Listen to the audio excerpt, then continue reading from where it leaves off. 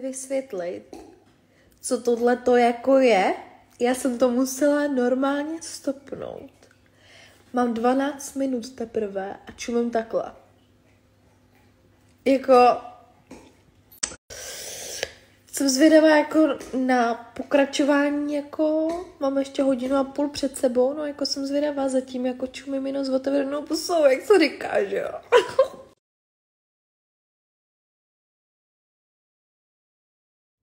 Ahoj. Hello, hodně jste mi psali o tom, abych vám zhodnotila film 365 dní.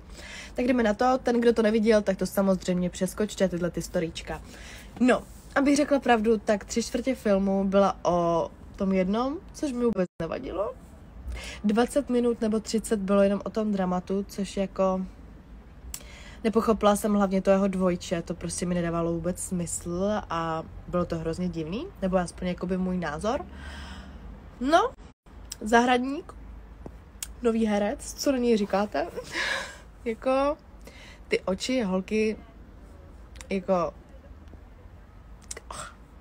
no comment. No, jinak celkově ten film se mi strašně moc líbil, já mám prostě takovýhle styl ráda, takže a vy mi samozřejmě taky napište, jestli se vám to líbilo, nebo to na vás bylo moc. Chci vidět váš názor, takže pište mi to sem.